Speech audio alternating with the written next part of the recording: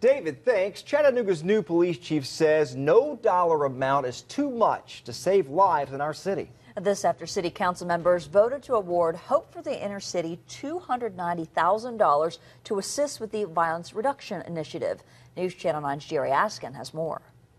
But if we can save one life, I'm not going to put a price tag on that. That's Chief Fletcher's reaction after the nonprofit Hope for the Inner City was awarded nearly $300,000 to help reduce crime in Chattanooga.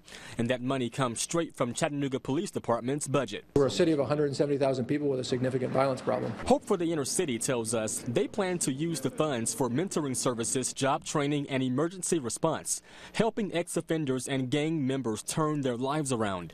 Chief Fletcher says of the four organizations who submitted bids to the city, Hope for the Inner City was by far the best to help police curb our city's violence. Their mission is to help us place at risk people these people that we identify, young people mostly, young men mostly, who are most at risk to be victims or suspects of violence, their job is to help us continue to place these folks with the services that will keep them from becoming victims or suspects in violence. One of the things that we need to do, I think, is work together. Today, Chief Fletcher spoke at the Hixson Council meeting on his efforts to reduce crime in Chattanooga.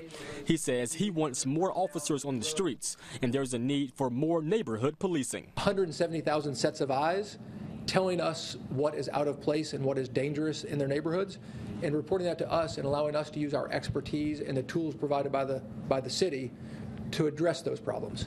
Jerry Askin, News Channel 9. The city of Chattanooga has helped about 50 people find permanent jobs through the Violence Reduction Initiative. That includes ex offenders.